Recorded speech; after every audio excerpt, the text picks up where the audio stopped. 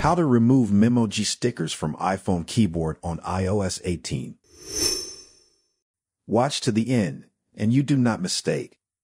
When you're in a conversation on iMessage and open the emoji section, you'll notice the Memoji stickers appear on the left side of the screen.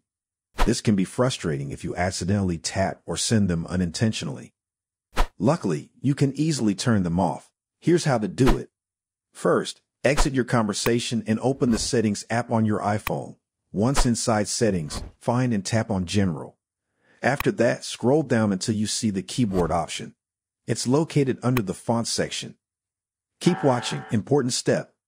Now scroll to the bottom of the keyboard settings and you'll see the emoji section.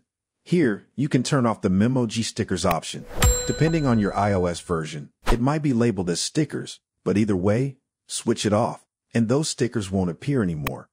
To verify, go back to your iMessage conversation and open the emoji section again. You'll notice the Memoji stickers are no longer visible, and you'll only have the regular emojis available.